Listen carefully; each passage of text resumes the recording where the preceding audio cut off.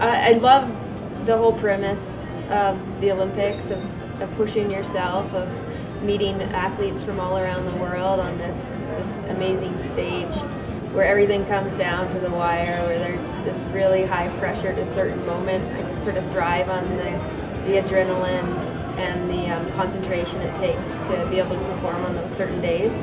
And also watching all the different sports. I'm a huge Olympic sports fan. I love watching summer games, winter games.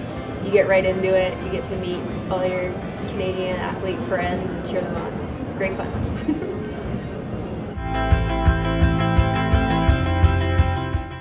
I have a I have a lot of goals going into Sochi actually, and most of them are performance oriented. Certain um, certain I guess techniques you could say or lines that I'd love to do on course. Watching my uh, my teammates, watching Dominique and all the guys really really push the level and and um, trying to do the same myself.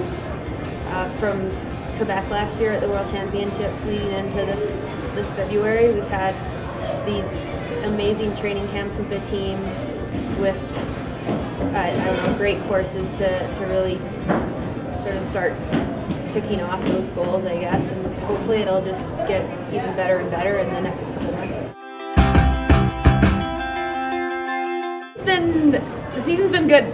We had a couple training camps in South America. We were in Chile and Argentina, and uh, we had Jeff Ihaksi, the Olympic course builder from Vancouver. He came down and built us a training camp down in Argentina, and it was it was so amazing. So many great days on snow, with good jump lines, great berms, and really good atmosphere with the team. And then leading up into the fall, into the, the start of Montafon, I had a little bit of a hiccup. I uh, bonked my head a bit, but. Uh, feeling back on my game.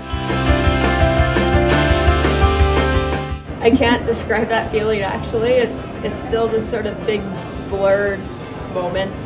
Like mixed emotion, like so happy but also relief and then kind of overjoyed and, and instantly a little bit unsure of what the future was holding. So I, I think a little bit of panic maybe.